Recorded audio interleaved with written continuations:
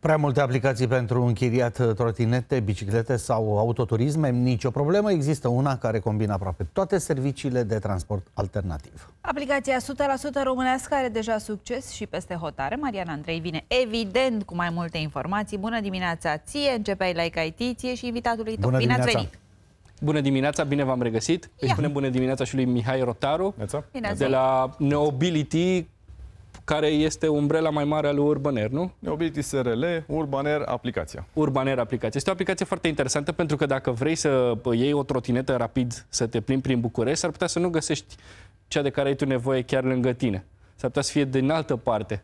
Și uh, cred că ai nevoie de cât? De vreo 10 aplicații pentru trotinete? București. Trebuie să Deci, iei da. trenul până ajungi la... Și mai bine chem un Și taxi. atunci, atunci aplicația asta ce face? De fapt, ne arată cea mai apropiată trotinetă? Zic așa. Ne arată, o putem și folosi. Ma- trotinetă, mașină, uh, bicicletă, toate soluțiile de mobilitate.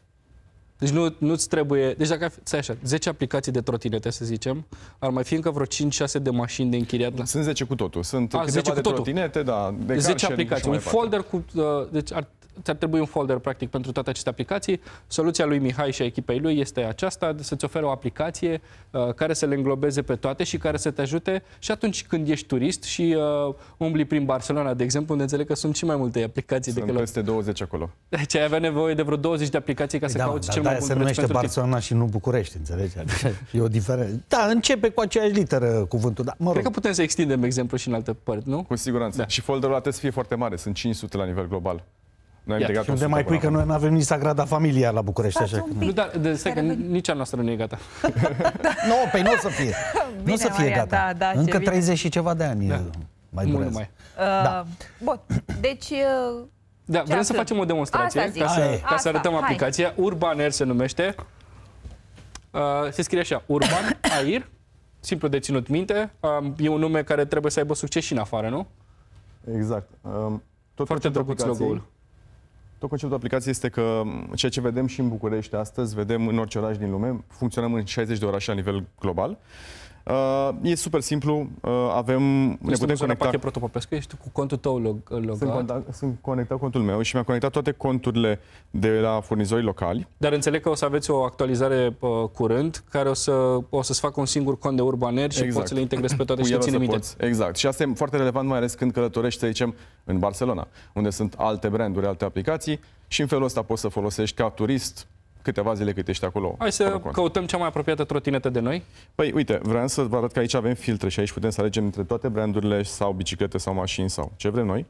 Și aici vedem direct în ordinea distanței uh, diverse tipuri de vehicule în funcție ce am căutat.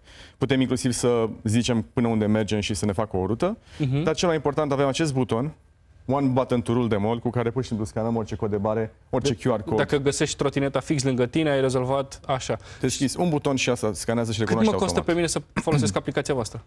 Uh, Nu te costă nimic, uh, îți uh, economisește timp. um, Păi și îți- voi din ce faceți bani?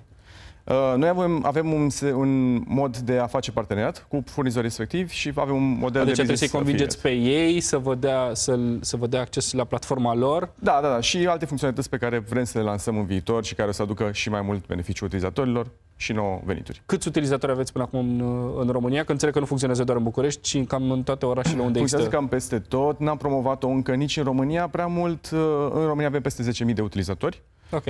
Um, Dar o piață de focus pentru noi acum, spre exemplu, este Tel Avivul, pentru că este un, uh, un oraș care are multe soluții de mobilitate și are o populație care adoptă foarte ușor astfel de soluții. Și sunt, uh, sunt utiliza- utilizatori mai mulți acolo, bănesc, nu? Uh, Acolo am început acum două săptămâni promovarea și da, este mai multă activitate acolo. Am înțeles. Și unde, unde vă focusați uh, mai departe de Tel Aviv? Păi, Nu, bineînțeles, nu mai, mai departe, adică după Tel Aviv, nu mai departe. avem deja parteneriate semnate uh, în Europa, în America Latină, deci o să începem să promovăm uh, destul de larg în orașe de interes. Uh, Spre exemplu în Chile, spre exemplu în Madrid. În Madrid sunt 25 de furnizori, deci chiar e o problemă mare uh, pentru cei care navighează aceste aplicații. Asta îmi placă. Ideile foarte bune pleacă totdeauna de la niște probleme.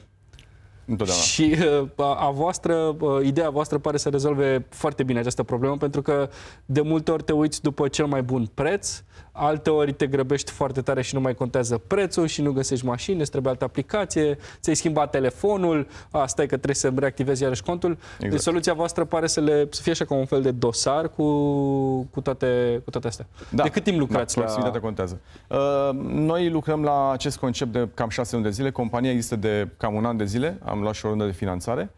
Uh, și da, cum zice și tu, a pornit de la o nevoie foarte, foarte personală. În companie noi vrem să construim mai multe soluții care să sprijine uh, noua mobilitate urbană, pentru că noi credem și vedem de altfel că mobilitatea de astăzi este, well, e broken, pur și simplu. Nu avem loc cu toții pe străzi și mobilitatea este un subiect care impactează foarte mult societatea, uh, indivizii, la nivel social, economic, uh, sănătate, chiar și real estate-ul, nu? E mai scump un apartament lângă metrou.